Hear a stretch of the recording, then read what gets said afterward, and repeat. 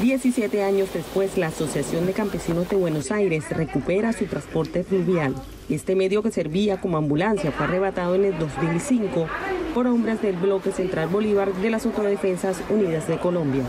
Como ASOCA, como asociación, teníamos una chalupa para transportar a las personas que se nos enfermaban de aquí al Banco Magdalena. Entonces, como fue un daño ocasionado por el factor armado, pues nosotros hicimos la petición de una lancha rápida para así poder transportar a nuestros enfermos.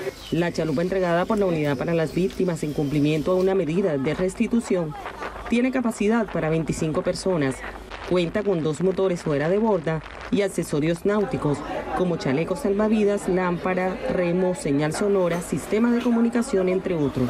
Este medio de transporte fluvial va a impulsar todas las acciones y actividades que desarrolla esta asociación campesina en la que viven más de 500 víctimas del conflicto armado. En la jornada también se entregaron implementos deportivos y elementos tecnológicos en cumplimiento a las medidas de satisfacción y restitución contempladas en su plan integral de reparación colectiva.